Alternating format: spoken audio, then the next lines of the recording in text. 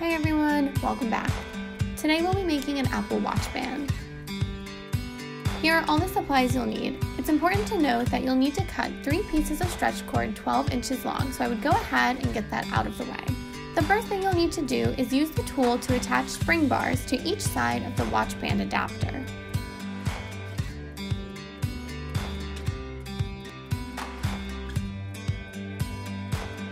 Using a stretch cord knot, attach one end of the cord to the bar.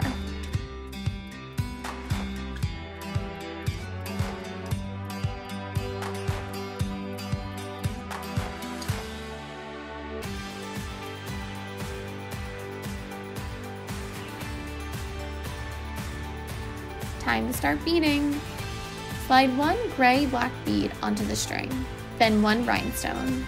Now add 16 gray black beads one rhinestone, and one more gray black bead.